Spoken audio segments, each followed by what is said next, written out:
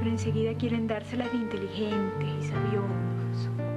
No es que tengo que hablarte así, porque alguien en la vida tiene que decirte por qué razón el 90% de tu vida adulta lo has pasado metida en un apartamento viendo televisión sola, llamando por teléfono para pedir comida china y comértela sola, ¿entiendes? Totalmente sola.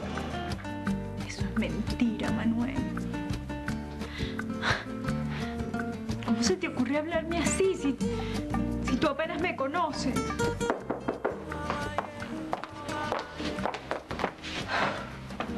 Adelante.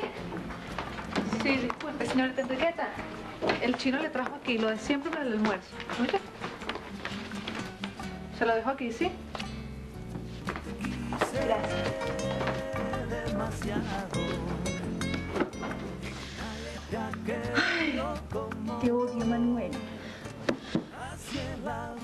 Por tener la razón. Te has quedado como el papel. Dime, ¿qué tienes? No, no, no, no, nada, nada, nada, nada. ¿Pero nada, cómo, que nada, mi vida? ¿Alguna cosa te habrá dicho esta llamada, no? Sí, sí, digo, digo, no, no, no, no, no, no, eh, gr- grosería, pura grosería. A- a- algún ocioso que, que, que no tenía nada más que hacer. Pero ¿por qué carambas no habré cogido yo el teléfono? Dime. Oye, acostumbran a llamarte muchas veces. Así, porque a última hora eh, lo denunciamos. Eh, No, no, no, no, no, no, no, no, no, no me acostumbro, pero, pero es la primera vez, pero si, si, si eh, a- a- vuelve a suceder, yo te aviso. Paco. Bueno, pero me, me estás votando, me estás votando. No, no, no, no, no, que decidiste irte, Paco, ¿verdad Ya, que sí? ya, sí, ¿Verdad sí, sí, sí, sí, porque ya ha pasado el tiempo. Sí, Bueno, bueno, te ven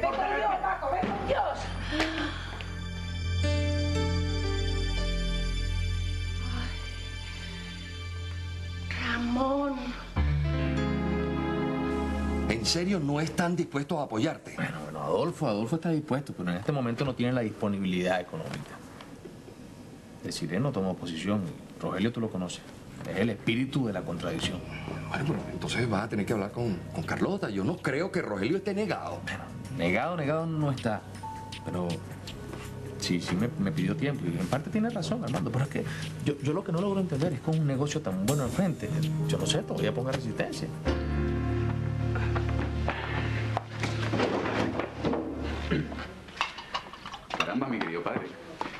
¿Estás festejando o son cuestiones mías? Festejando, hijo, festejando. Y bueno, entonces cuéntame. Que a pesar de la propuesta de Mauricio, pues no va a lograr su objetivo.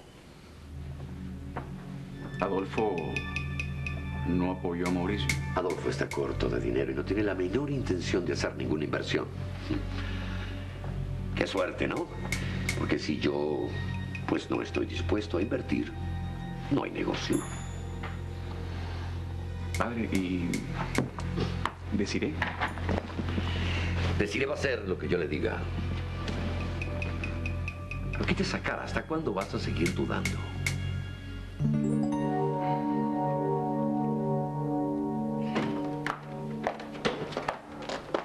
Qué bueno que te encuentro. Justamente contigo quería hablar. ¿Y eso, Adolfo, para qué? Bueno, no pongas esa cara. No es nada grave. Solo quería decirte que me gustó mucho tu exposición en la Junta.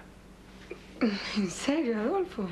Yo estoy consciente que la asociación con los inversionistas de Miami es la mejor vía para acceder a otros mercados.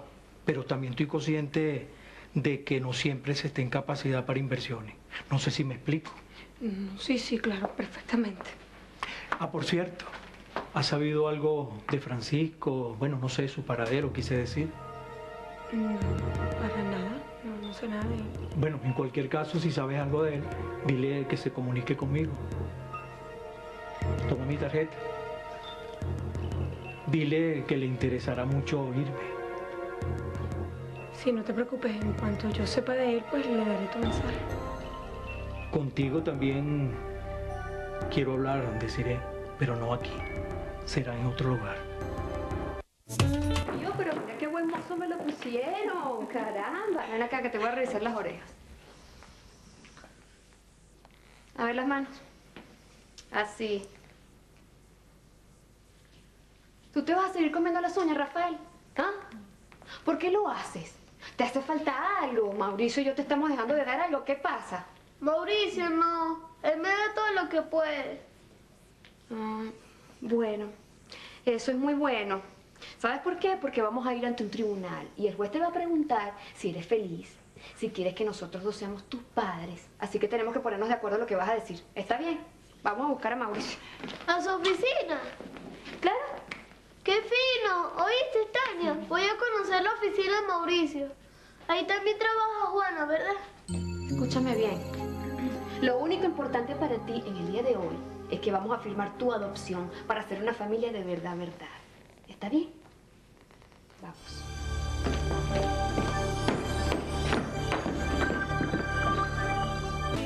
¿Cómo no quieren que uno se vaya huyendo para Caracas si por aquí la cosa está tan dura?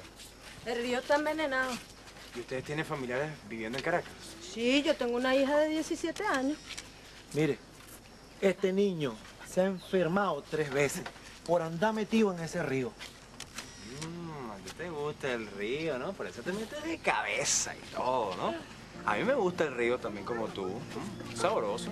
Y bueno, y por eso es que yo vine aquí a limpiar un poquito el agua. Para hacer un pececito de río como tú. ¿A ti te gusta hacer un pececito de río? O un tiburón con un colmillo gigantesco. Un tiburón. ¿Tiburón?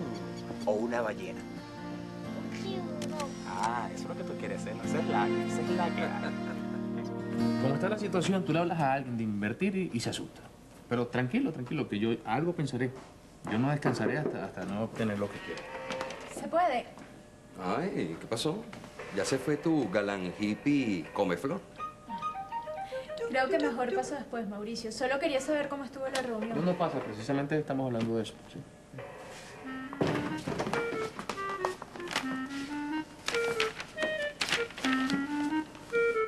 Fuiste fue el que le trajo los globos, ¿verdad? No, no, Brandy, ya va. Yo, yo lo que te quiero explicar. Ay, Manolito, dime, fuiste tú, ¿verdad? Puede ser.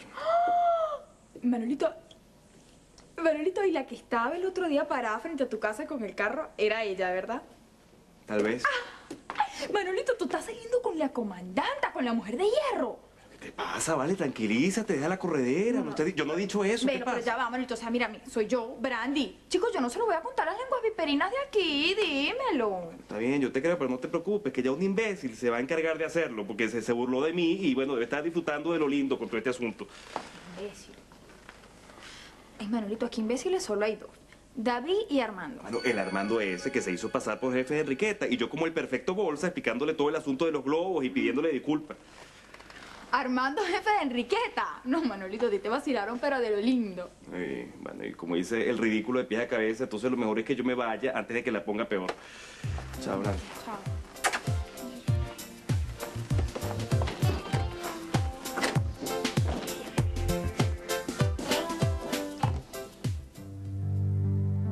Ramón, a cuenta de que llamaste. ¿Qué vas a estar buscando con nosotros a estas alturas? ¿Para qué nos llama después de 10 años? ah? Porque fue hace 10 años que llamó por última vez. Y, si es vernos, en su última visita Manuel tenía